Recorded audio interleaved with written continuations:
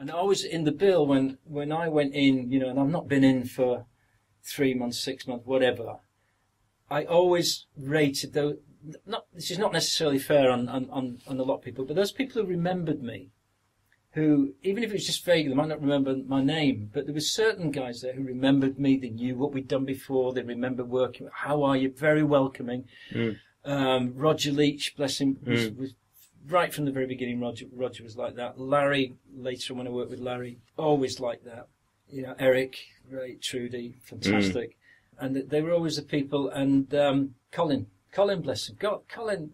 Last time I saw Colin, he was doing uh, Railway Children in Mm. York Yeah.